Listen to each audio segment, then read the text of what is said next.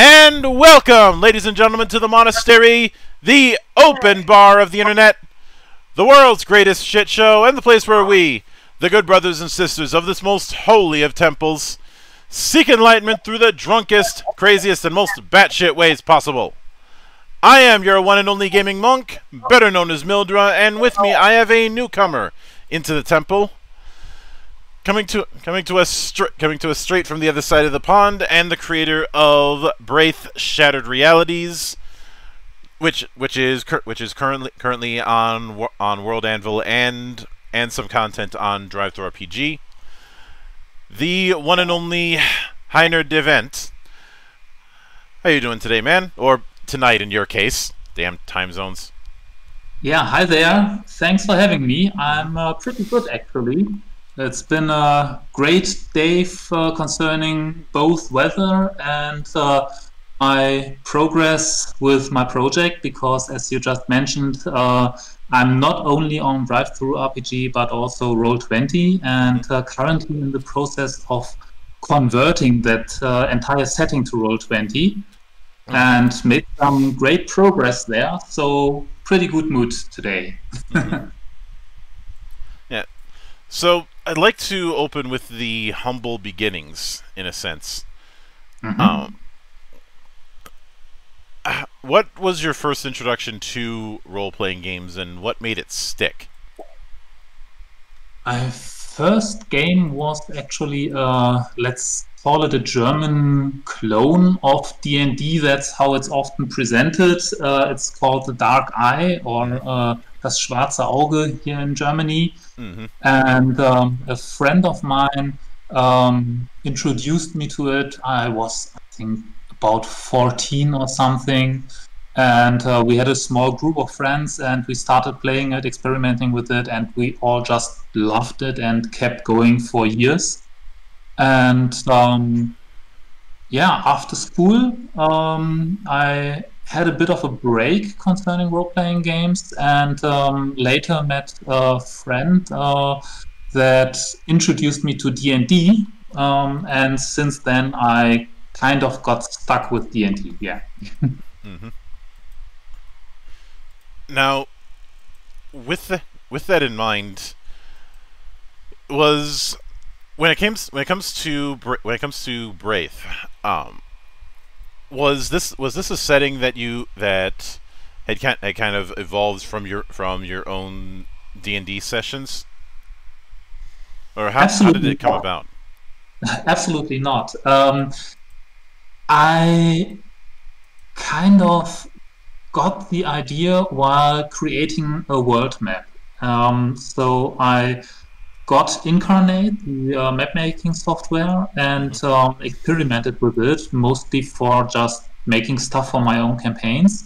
Mm-hmm. And um, I experimented making a world map.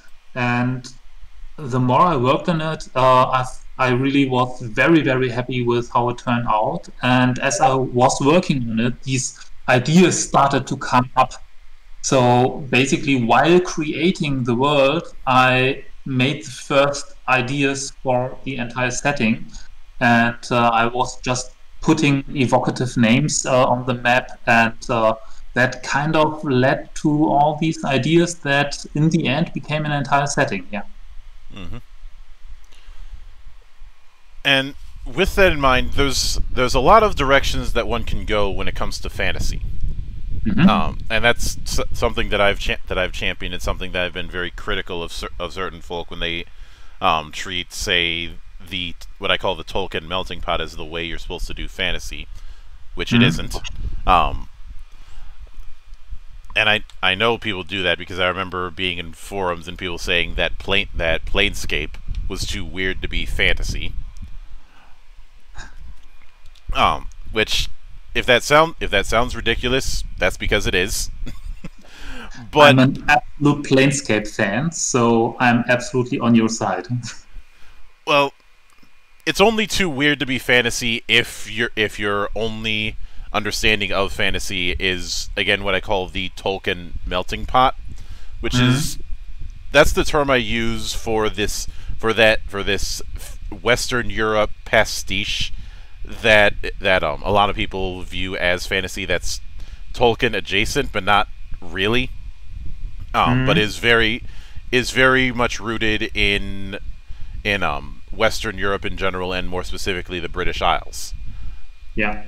Um, and I've I've long suspected that the reason that The Witcher became so became so popular is because because of it being a being a form of fantasy that that leaned more towards Eastern Europe instead instead of we- instead of Western, and a lot Mhm. of the motifs that people that people see with that. But what sort? But what style of fantasy are you shooting for with Braythe? This is a question that is both very easy and very complex to answer. Those are the best Um, questions. Yeah, um, complex because um, the concept of Braythe is that uh, basically the worlds you play on are the remnants of worlds that have experienced an ap- apocalypse. Mhm. And uh, my core world with which I start um, is called Ashandri. And it's basically 11 regions or fragments of that old world that were saved and merged together. And so you have these entirely different biomes and cultures that in the past world where, where they came from were maybe continents away and didn't have anything to do with each other, and now they are neighbors.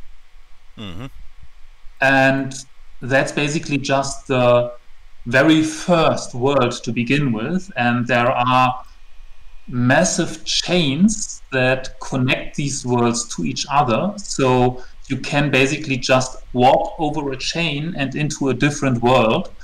And what that means is that campaigns in Braythe can basically be anything you like. You hmm. can, even if you want to, uh, do a clone of Spelljammer because um, Braythe is not just a setting, it's basically a microcosmos. It's uh, alternate reality of its own. And there's this, uh, I call it the purple void, which fills the entire universe, and the worlds are floating within this void, within this purple void. And you can even go into this void if you have the proper equipment like void ships and things like that. And you could absolutely do something like a Spelljammer like campaign in Braythe. But you can also, and that's uh, basically the starting point um, from the official course setting that I produced. Uh, you can absolutely do a Tolkien like setting. I have the uh, region called Delvaroth, which is not entirely like Tolkien setting, but there are a lot of elements of that. And I used that because it's easiest to get into. hmm And it's like um, you can start playing Embrace with that region, and uh, it's pretty easy to understand because we all know these kind of words. But if you want more, you don't need like, oh, how do I get my group now to the other side of the continent? No, you just go to the next country over the border, and there's um, Oriental setting or an ice desert or an ocean of ash, or you jump into the purple void and do a void ships campaign. hmm So, uh, in other words, it can be anything that you want. Um, but, and um, there's more of an of a philos- philosophical um, point of view. Um, I think every setting has a kind of theme, and sometimes it's very obvious, sometimes it's subtle. Like, for example, if you if we talk about Ravenloft, it's obviously gothic horror. hmm That's absolutely clear. And um, I was thinking very long about what kind of theme I wanted for Braythe, and um, I came up with something because it's kind of um, yeah something that both personally is interesting for me and it's also something that I really have a passion for. And I think it's extremely important. And that's basically psychology. So um, from therapy and uh, uh, trauma stuff and all that, uh, I am actually considering. I'm, I haven't made the final decision on that yet, but I'm considering to maybe become a therapist one day, Mm-hmm. and um, basically as a secondary career. Uh, and even if I don't go that way, I have researched very much and I've made trainings in that area and so on. And um, the theme of Braythe comes from trauma therapy and it's from surviving to thriving. So the core idea is that you've got a world that has gone through an apocalypse. And uh, in the timeline, it's uh, the, the world, the new world shaped from the remnants of a uh, world that was destroyed. It's there only since four years. So it's not like totally uh, yesterday that it happened, but it's still very fresh. Mm-hmm. And everyone has gone through a lot of crap. And from that point on, the question is how do we get from not just surviving, not just living in this hell that we experience, but building a new world and going for hope and going for a happy life despite all that happened. Mm-hmm. And that isn't that is a interesting thing to explore, especially since a lot of games that that dip into post-apocalypse are very much in the leaning of science fiction. And Yeah. you know, you know, your when a, if I mention if I mention post-apocalypse to a lot of people, the first thing that they're going to think of is Fallout. Yeah. Uh, probably, pro- hopefully, Fallout New Vegas if they if they have proper taste. Um, hof- hopefully not Fallout 76. Never played that one. I love how that's an evergreen take because it's never going to be finished. I will al- I will always be able to pick on it. Look, all critics have their whipping boys. Mine just happens to be Todd the Mop Howard. but uh, but fantasy fantasy fantasy apocalypses they're they're they've been present but you don't see them as frequently. Um, Yeah. and even even with that, the the whole cons- the whole concept of from surviving to thri- to thriving is a concept that I don't see often.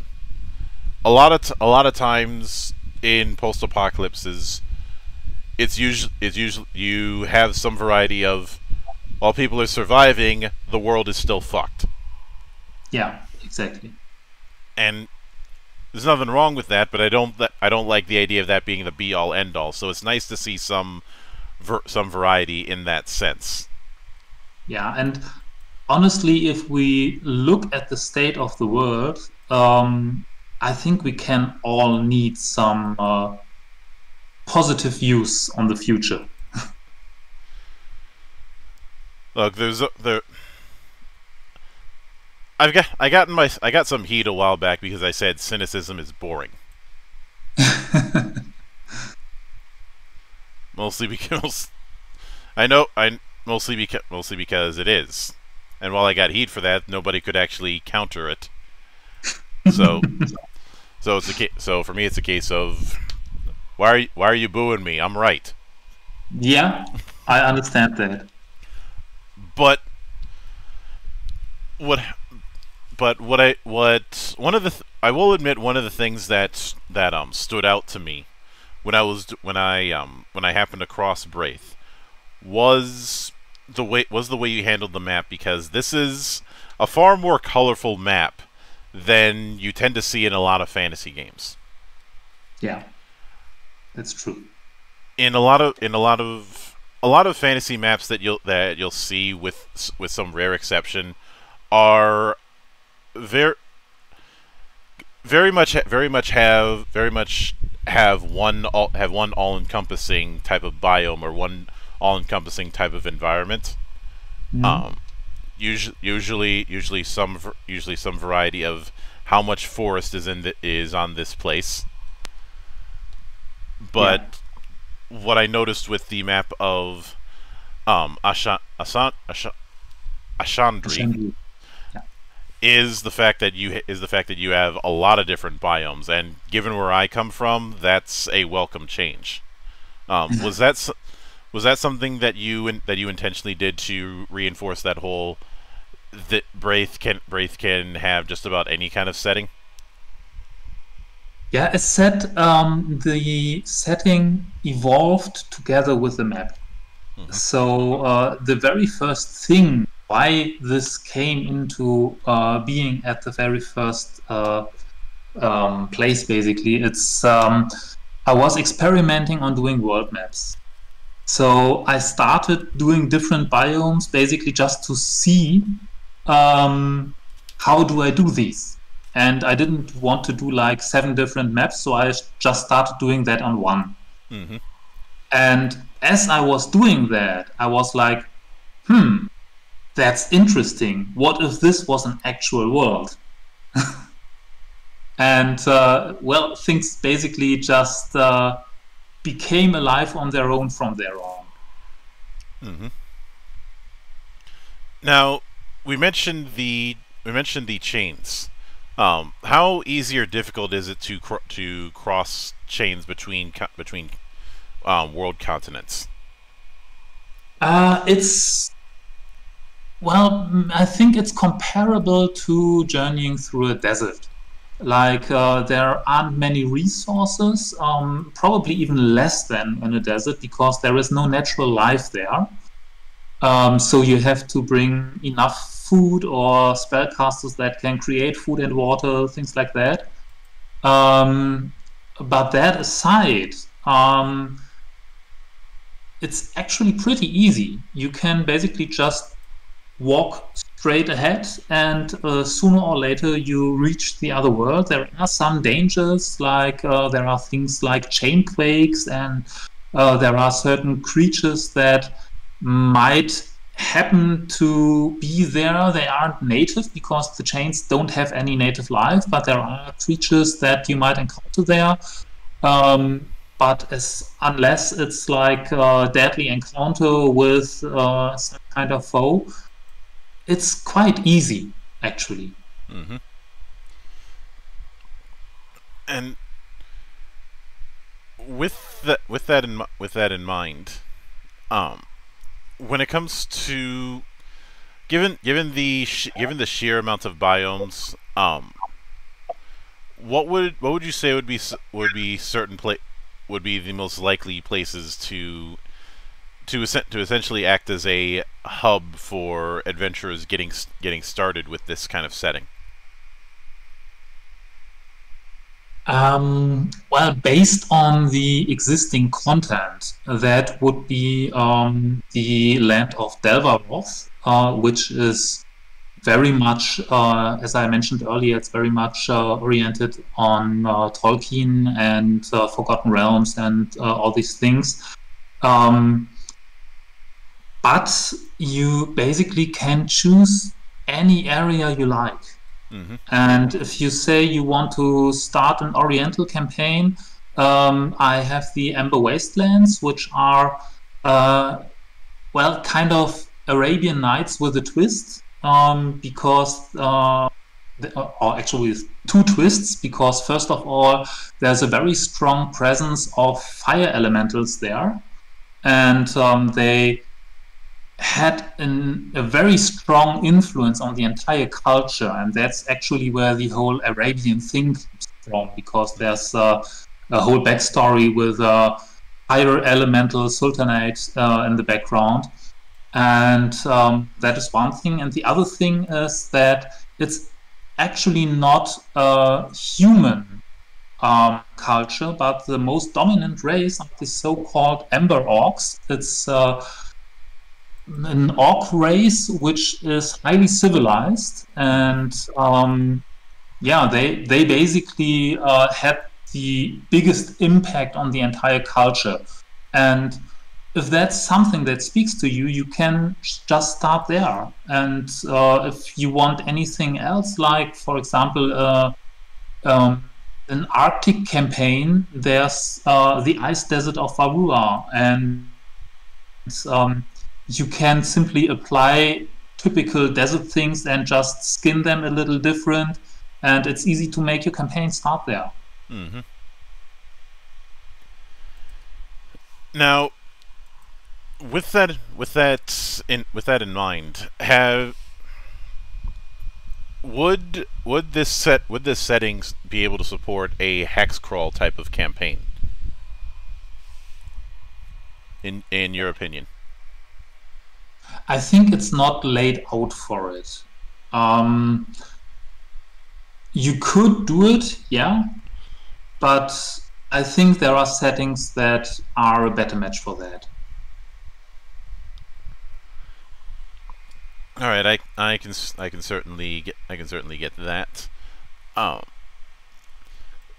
Now, within given the given the given that particular given that particular style, since you mentioned the a um a a far more civilized take on orcs than what than what people would usually think. Um, I'd like to I'd like to bring up a few other races and whether or not these are and decipher whether or not these are present within um within within Braythe and how if that if that's the case. Mm-hmm. Um, I like to start with like to start with one of my favorite ones to pick on, that being the elves. Mm-hmm. Um, they do have a very big presence, and uh, I actually have um, for all of the races that are part of the SRD. Um, I have my own sub races, mm. and um, for the elves, I actually have three different sub races. Um, and I try to, you know, there are the standard elves that you know they are there, but I wanted to give elves some new twists.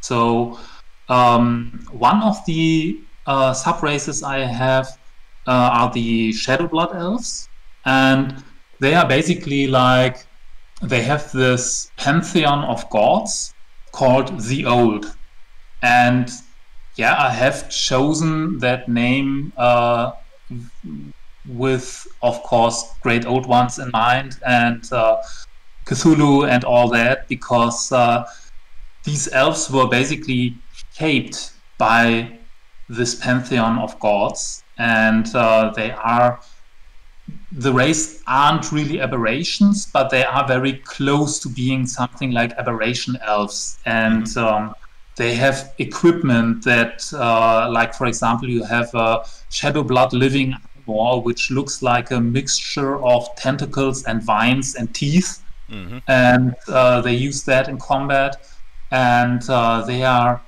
really creepy and nasty and basically my uh, version of evil elves that I have.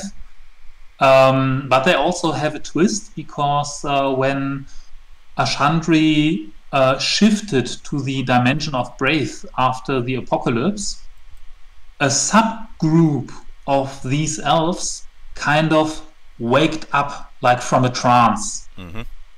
And they suddenly realized, like, what the hell have I been doing?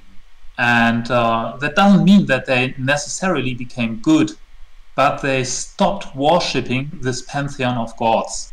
Mm-hmm. And uh, so there are now uh, Shadow Blood elves that you can use also as player characters or as uh, non player characters that don't have to be evil. Um, but it, it raises the question of those that still serve the old, why do they really do that? Are they really evil, or is it some kind of influence of the gods? And uh, you know, there's a lot of mystery there, and uh, I plan on solving a few of these things in future adventures. Um, but uh, to come back to your question, I have uh, several kinds of elves, and I always try to give everything a new twist, a new um, a new perspective, something new to try out to keep it interesting, and not just mm-hmm. do things that a million other th- settings to uh, do too. Yeah, and with that in mind, I'd like to, I'd be curious how you'd handle the other end of that spectrum with the dwarves. Yeah, uh, the dwarves. Um, also, classic dwarves are around, absolutely. Um, they were a very present race in the old world, but uh, their big cities were mostly underground. And when the new world was shaped, uh, there were like big earthquakes going through the entire world. And every single one of these major cities was destroyed. So basically, uh, most of their culture was destroyed, and there are many refugees from those that survived. Mm-hmm. Um, and there are also a few um, cities above the ground. Um, but uh, the, the core of their culture basically was destroyed. And uh, I also have a subrace from uh, for them. They are the so-called Kruvar dwarves, mm-hmm. and uh, they are a creation of one of their gods, uh, which also has a little bit of a background story. It's actually an evil god, mm-hmm. but not shunned by their pantheon. Uh, it's actually an ele- earth elemental god. God, and uh, the background story here is that the uh, prime god of that pantheon was uh, working on anvil, very classic dwarven theme, and was uh, hitting on a rock with his mighty hammer, and only too late noticed that the rock in front of him was actually an earth elemental, and it shattered into two pieces. And uh, the god uh, felt horrible for doing that and uh, managed to save this creature but through the pain, through the suffering it endured, uh, it basically turned evil and um, full of rage and anger. And um, to make up for his deeds, that um, prime god turned this elemental creature also into a deity and welcomed it into his own pantheon. Mm-hmm. And with his newfound power, this elemental created this subrace of dwarves, these children of Kruvar, and um, they are like elemental rocks. Like their skin really looks like stone, and they uh, about half of them have black eyes, and um, they have very they have a very harsh society.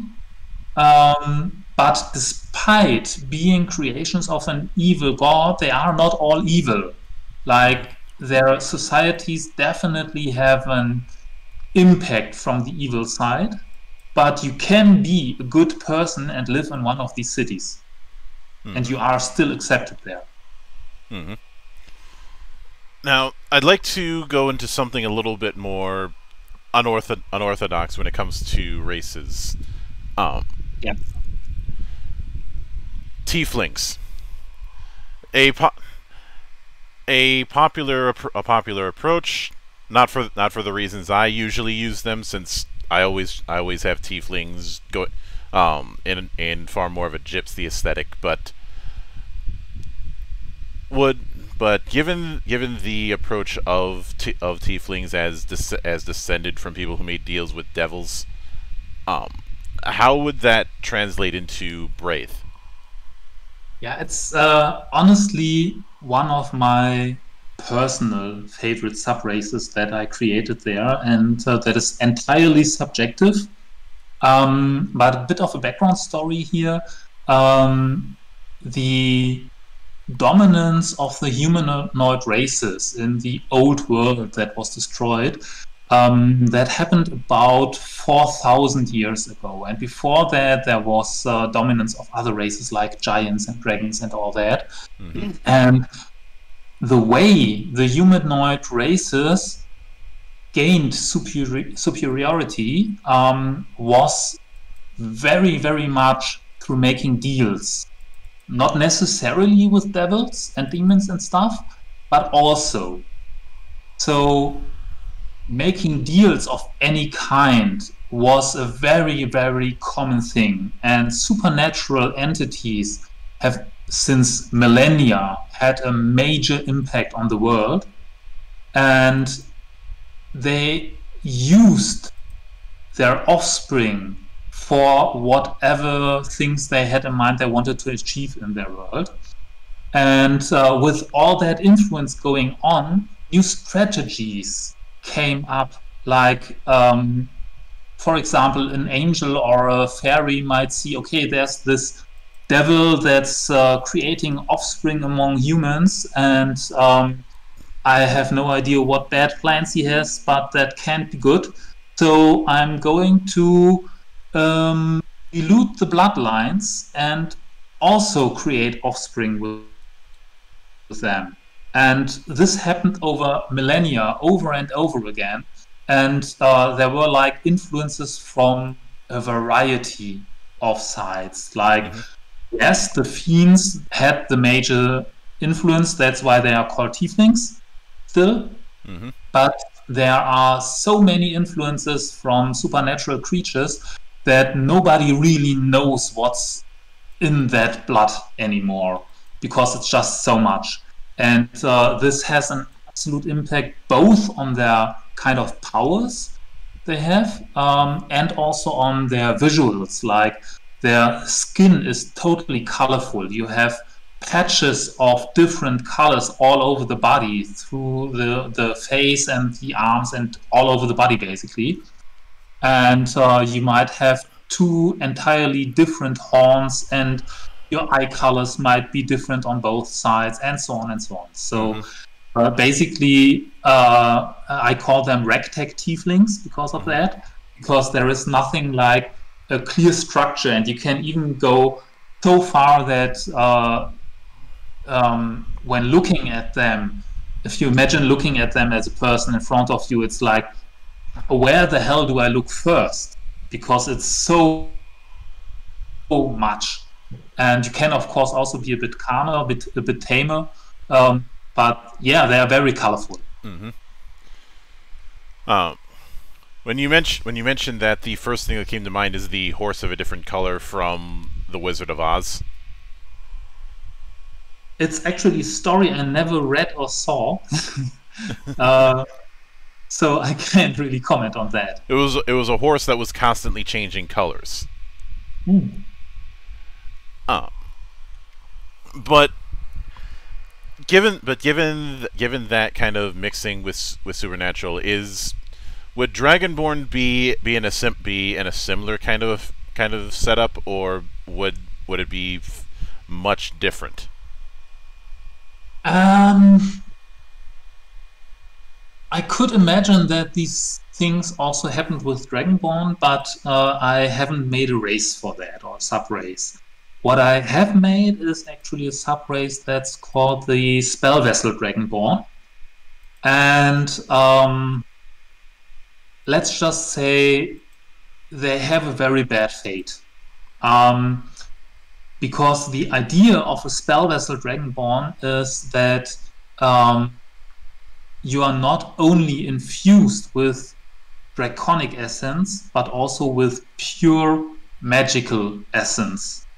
And this process is horribly painful.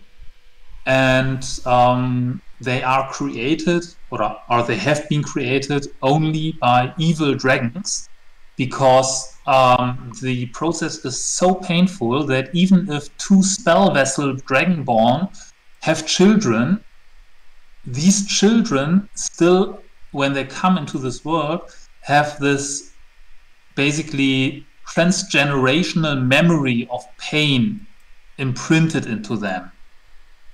And um, they are designed to be powerful slaves, basically. Mm-hmm.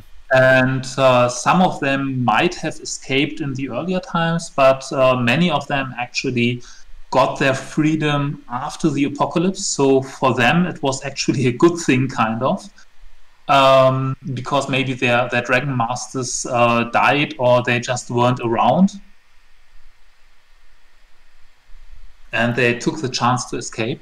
And uh, these spell vessel dragonborn um, also they have like this uh, magical spirit inside them, and in most cases it's like a bad voice, like basically uh, having an inner critic, but this inner critic is actually an entity of its own, and it's a real asshole, and it's designed to keep them down. And um, if we get back to the whole topic of from surviving to thriving. It's like if you make a spell vessel dragonborn player character, you could start as like you've always heard someone whispering in your mind how worthless and how bad and whatever you are. And the story of this player character could be to grow beyond that and to understand this kind of gaslighting and actually find themselves. Mm-hmm. And when it and when it comes to one of the one of the things I was curious about is in re, is um in regards to magic. Um, given the fact that we're that we're dealing with a a post-apocalypse, is the way ma- is the way magic works or the way magic is treated the the same or are there are there changes with how it's with how either or both work in Braythe? Um, I have two different approaches here, actually. Um, first of all, I'm a big friend of keeping things easy. Mm-hmm. So, if you want to play a campaign in Braythe, um, the core idea is that everything works as intended because you can focus on the story, you can focus on the setting, you can focus on your characters, and not on how do I apply this rule, what do I have to keep in mind here, and so on. Mm-hmm. So that's an important part for me. But um, Braythe is, as I mentioned, a microcosmos of its own, meaning it's uh, not a multiverse, but a universe. And this universe doesn't have things like elemental planes or an afterlife or anything like that. And uh, that's actually a pretty important factor in this setting because in the very first five days uh, after Ashandri shifted to the dimension of Braythe, it was cut off from the afterlife. And anyone who died in that time basically became a ghost, or uh, how I call them, unbound spirit. And these cannot die anymore. They even if you kill them, they just get back the next night, and uh, so these are things that have an impact on the world, and um, you can, for example, use Braythe in a way that it's actually a bridge between alternate realities because how it accesses afterlife and elemental planes and so on is via conduits Mm-hmm. And nobody says that, for example, if you have a conduit into the plane of fire and there's another conduit five miles uh, past uh, leading to that same plane, who's to say it's the same alternate reality that it connects to, the same other multiverse that it connects to? So, in theory, you could have even things like two versions of the same God from different realities. Mm-hmm. It's absolutely possible. Um, I didn't really weave much of that into the setting itself because of the first part. I want to keep things simple. But you can play with it as a dungeon master if you want to. Mm-hmm. Now, from what from what I, from what I had seen, there there are there are some additions to the to the um, player facing end of Braythe, and that's that is something I'd like to. I would I would like to get into, especially since you made a you made a whole separate page dedicated to um, uh, warlock patrons. Yeah. Uh, what can you tell? Specific, specifically, the one that's the one that's currently in the world anvil is the shore spirits. Um, what can you tell me about that, and what and um, what um, players who have that as their patron would lean into? Um, the Shore Spirit um, is actually uh, yeah, it was a demon, and as mentioned, supernatural influence in the uh, old world of Verthus before the apocalypse was a pretty common thing. So yeah, there were demons and angels and all that walking around, and um, this particular demon ended up in uh, the new world in what is called the Drift, and it's basically like a giant world storm in a land of ash, uh, an incinerated land. And this magical world storm, it ripped this demon apart. But it put it together again also, but merged with that ash. So it was turned into something entirely new. And um, this, this drift has created what is called the uh, River of Ash, which is a massive stream that splits the land of Delvaroth. And um, after it was ripped apart and put together again, this uh, demon creature was basically going down the stream until it ended up uh, on a place where today there's a city called Blackbad. Mm-hmm. And um, the spirit, the shore spirit, lives there at the, sh- at the shore. And everyone knows about it. And it's known that you can make deals with it. And as mentioned, that's pretty popular and common thing. And yeah, it's uh, maybe kind of stupid to make a deal with a creature you know is uh, evil, but if you're desperate enough or if you just don't care, uh, then there are people who do it. Mm-hmm. And um, this creature, it's um, yeah, it's a lot of uh, treasure hunter, and um, it has pretty bad intentions um, about basically bringing down culture and um, making everyone like uh, enemies to each other mm-hmm.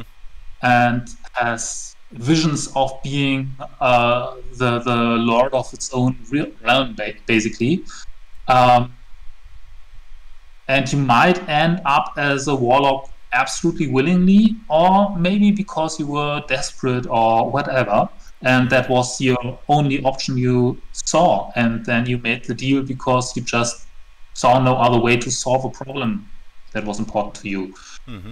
and um, so this um, this shore spirit might give you missions very directly and uh, opposite to most patrons you can actually visit it physically like you go to that shore and it comes up and you can speak to it mm-hmm. just like that so uh, that's definitely something that makes it easy also to create a, a warlock character because you can just say, yeah, I uh, lived in Blackbad, I had problem whatever, and I des- desperately had to solve it, so I went to the Shore Spirit and made a deal. Mm-hmm. And um, that's one of them. And uh, I already created two other warlock patrons also. Mm-hmm. Um, and uh, that's that's kind of interesting because I didn't really have the intention to do that. But uh, one of my playtesting groups, um, there were two players who had the idea to make warlocks, and they had very specific ideas in mind. And I basically designed these warlocks uh, patrons for them, and they are two patrons that are connected to each other. And one is, um, you could call it a fallen angel of death. Uh, so, not an evil creature, but a very bitter one. And the other patron is his sentient sword. So, it's basically like a magical weapon with uh, its own intelligence and its own agenda, also.